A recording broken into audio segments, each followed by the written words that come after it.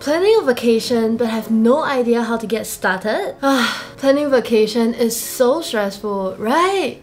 Especially if you're not sure where to start. But what if I told you that you could use AI to plan an entire 5-day trip to anywhere? Imagine having your entire itinerary, including must-see attractions, food spot, and hidden gems, all sorted out in minutes. Doesn't that sound so great? In this video, I'm going to show you how to use ChatGPT to generate your travel itinerary, how to put together a comprehensive travel guide on Notion, and how to share it with your friends. I'll also walk you through creating your own Google Map list so you can easily navigate your destinations while you're already out. Stick around till the end because I'll show you how you can customize everything to fit your unique needs. Welcome to the channel where I teach you how to use AI tools to make your life easier and more productive. Whether you are tech savvy or not, this channel is all about empowering you to use AI to elevate your life. And if you are a complete beginner, don't worry, this tutorial is designed just for you. Plus, I've got a step-by-step -step guide in the description box below to help you follow along as you learn. So make sure you visit the guide now and start learning by actually taking actions. Now, you might be wondering, why should I use AI for travel planning? Well, if you have planned a trip before, you probably know that planning a trip involves a lot of research finding the best places to visit, figuring out how to get around, and making sure you're not overspending. AI tools like ChatGPT can help Will with all of that by quickly generating ideas and organizing them in a way that makes sense. But remember, AI is here to assist you, not to replace you. It's like having a personal travel assistant that helps you get a rough idea of your trip. You still need to add your own personal touches, do some extra research, and make sure everything fits your preferences. So, ready to make your travel planning a breeze? Let's dive in! First thing first, before we start planning, you need to know how to talk to ChatGPT. The secret lies in how you ask the questions. This is called prompt engineering. But wait, wait, wait, wait, wait. Before you are scared by the technical term, it's actually really simple. Prompt engineering is like giving a robot a very specific instructions to get the exact result you want. The better you explain what you want, the better the robot will be able to do it. By learning how to structure your prompts the right way, you can make sure ChatGPT gives you exact exactly what you need. So here's three key tips to generating the perfect prompt. First, be clear and specific. The more detailed you are, the more precise ChatGPT's response will be. For example, if you're planning a trip, tell it exactly what you are looking for, like budget, activities, and dates. Second, break it down. Instead of asking everything at once, split tasks into smaller parts. Just like talking to a person, giving ChatGPT one step at a time helps it provide better answers. Last but not least, refine and repeat. After you get your first response, don't be afraid to ask for improvement or changes. You can keep refining until you are happy with the result. So, by following these simple tips, you'll get so much better results from ChatGPT and be able to use AI effectively for everything from travel planning to managing your own daily routine. So right now, let's get into the ChatGPT tutorial. Okay, so now I'm gonna ask ChatGPT to show me how to plan a 5-day itinerary to Japan. Let's navigate to your ChatGPT. Here, you can navigate to this Explore GPT and search for travel you will see that there's a travel guide expert. So the good thing about using this feature is that you wouldn't need to train ChatGPT to be a travel guide on your own. You can simply use this directly. It will be able to act as an expert on global travel destinations, trip planning, budget building, and explore the world. So let's start a chat now. So for the prompt itself, I'll give us two options. The first option is if you have no idea where to start from and it's probably your first few time using ChatGPT, you can use this as a template template prompt first. This is a pretty good template prompt where it asks, you know, ChatGPT to create a detailed itinerary including the must-see attractions, local experiences, hidden gems for each day, and suggest activities for different times of the day, and to include transportation options, recommended restaurants, breakfast, and local cuisine, popular spots. This is a good prompt for you to start from if you have no idea where to start. Simply change this to, let's say, Japan. For example, Tokyo, Osaka, and Then you can just simply put in this prompt and see what ChatGPT gives the result. So now I'll give you a second option to generate the prompt. The second option is to use your own words to describe the exact travel plan you want. So this is an example of the exact prompt that I use for my five-day trip to Japan. I try to be as specific as possible about the kind of pace that I like and the kind of things that I like to visit. For example, like cafes and must-see attractions for first-time visitor and budget-friendly and so on and so forth. So you can really use your own words to customize the kind of plan that you want to get. From here you can see that ChatGPT gives us the best value airline options to Japan. One thing I just want to highlight to you that you really have to cross-check this information online. For example, in this case, it says that Scoot budget-friendly direct flight. So let's check if it is actually accurate. It says that for Scoot, the flight range around 450 to 500 for round trip. And looking at this Scoot website, honestly, I think it's pretty accurate. And looking at this itinerary, it has Tokyo, Kyoto, and Osaka. One thing I like to do is to go online to search about this exact location. For example, it says that you can visit Asakusa. And what I like to do is that I like to search this online.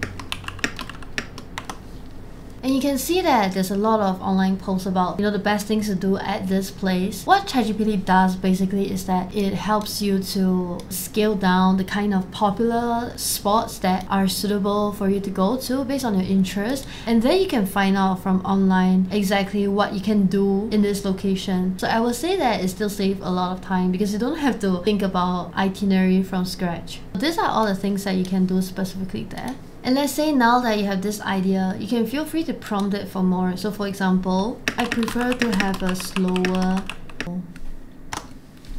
Based on the suggestions, you can kind of continue to prompt ChatGPT what are some of the things that you look for in the travel trip and try to prompt it to improve. So you can see here that ChatGPT now really kind of make the trip a lot slow pace now and it even recommended some cafe that I can visit in Kyoto. You can try traditional kimono experience and even listed the price here, roughly around what price it would be. And onsen and nature at Kyoto. Talks about Osaka Castle. One thing I really like about ChatGPT is that it does all the total estimated cost for you. So you can see very clearly how much budget you will need for this trip. It also gives you some pre-booking tips. For example, like, you know, onsen reservation, kimono rental. It is true that sometimes for these services, if you book prior in advance, you will have quite a bit of savings from there. I like dinner.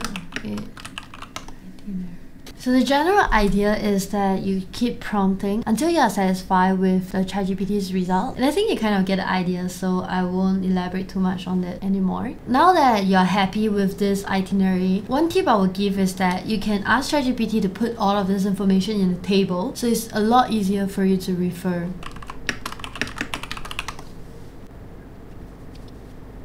There you have it. Isn't it so much better to be looking at this information in a table form? You can see exactly which day you will be visiting which part of Japan and also the main activity to do there. Of course, based on your own personal preference, you can go as in-depth or not as in-depth as you wish. Since I prompted it that I wanted to try some Japanese local foods, it gave me an entire column on the food experience and some recommendation and it also has some estimated cost here. Honestly, at this stage, you could already save this table and send it to yourself. And one tip is that let's say if you want to share with your family member who might not necessarily know how to speak in English, you can go to the translate button here. I want to translate into Chinese. You can do so here. And you see, it's so convenient. You can send it to your parents who understand Chinese and not English, you know? You can also choose every other language here. And I think it's just so convenient. Again, feel free to kind of screenshot, take a photo of this table, send it over to your friends honest opinion about this itinerary because I'm someone who really loves to visit Japan. Honestly, a lot of things stated here are something that I actually did try before on my first trip to Japan. To be honest, I think it's pretty solid, but of course, based on your own personal preference, you can kind of take it around and go online to search about what are some other people's feedback and all to kind of suit this to your need. Remember, the goal here is to use AI as a tool to make planning easier, not to rely on it for everything. At this point in time, if you find this video helpful, please give it a thumbs up and subscribe to the channel for more beginner-friendly AI tutorials. So now that we have created this table, you can actually save it and use it as your travel itinerary right away. But let's be honest, who doesn't like a little eye candy? Personally, I prefer to use Notion to record my travel plans. It's not just about functionality, it's about creating a visually appealing and shareable document. With Notion, you can easily share your itinerary with friends, keep it as a reference for future trips, and access it on your phone while you are traveling outside. So if you're ready to take your travel plan to the next level, let's dive into how to transfer your ChatGPT information into Notion and make your own custom beautiful travel guide. Let's dive into using Notion right now. You want to go online to search for Notion. If you don't have an account, you can sign up for free and just continue with your Google account or if you already have an account, just feel free to log in. For me, today I'm gonna use the Notion desktop version. Uh, once you're inside Notion, what I like to do is I like to go to the template here. You don't have to start everything from scratch because designing from scratch kind of difficult, right? Once you search for travel result, there's a lot of template here and honestly you can click into each one of them to kind of see which one you prefer. For me, in this tutorial, I'm going to use this as an example. I kind of like this design because you have the different days and travel to do. And there's a very nice image here as well. So let me go and add this to my workplace. So now that you have this travel planner template, you can start customizing it to your own needs. Let's say Japan itinerary. I'm going to transfer this information to my Notion. Let's say here, I will write arrive in Tokyo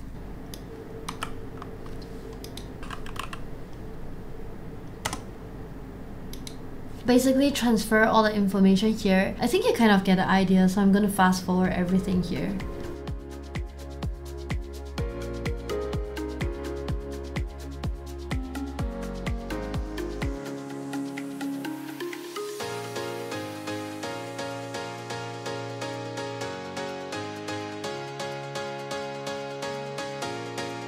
Now that we kind of have our itinerary already planned out, I like to use icons as well because it kind of adds some colorings to it and I think it looks really cute. You can see that I've transferred over from day 1 to day 3 the information here. You notice that there's a bucket list over here. So what I'm going to do is I'm going to ask ChatGPT to give me a list of let's say top 10 food top 10 must try food in Japan I'm going to add it into my bucket list. Alternatively, notice that Notion also has its AI feature here. By creating a Notion AI, you can say that give me the top 10 food I must try in Japan and you can see that they will create a list of things for you to try. I think it's quite useful and you see that actually the result is quite similar. Now I'm going to add this into my bucket list and kind of add image to all of them so it's easier for me to refer to on my phone while I'm traveling outside. So I'm going to fast forward this part as well.